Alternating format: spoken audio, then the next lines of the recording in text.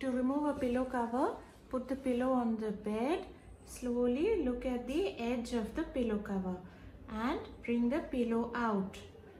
Do the same with the other side. Roll the pillow cover slowly so that the pillow inside is seen. Hold the pillow with one hand and like this gently move the pillow cover on each side.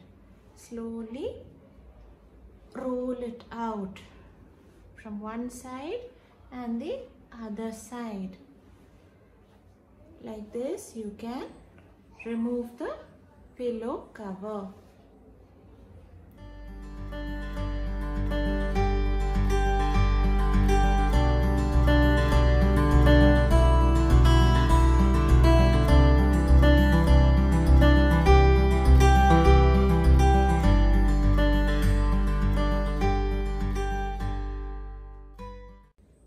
Pillow cover on the side of the pillow and slowly open it out like this.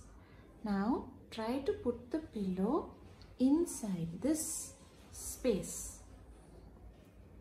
Slowly each side you have to pull up. Pull up one side then the other side. One side and the other side. Hold the pillow with one hand and the pillow cover with the other hand. Slowly pull completely inside the cover. Now adjust the sides. The pillow is inside the pillow cover.